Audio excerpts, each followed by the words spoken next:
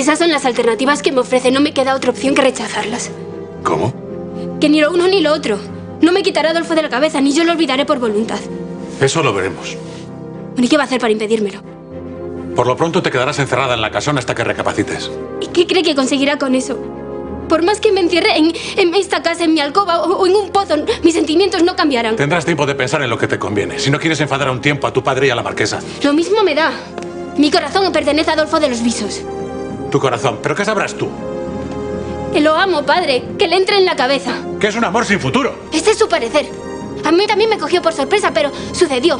Y ahora que sé lo que quiero, lucharé por ello. Enfrentándote a tu familia. Al mundo entero si fuera menester. ¿Me da su permiso para marcharme?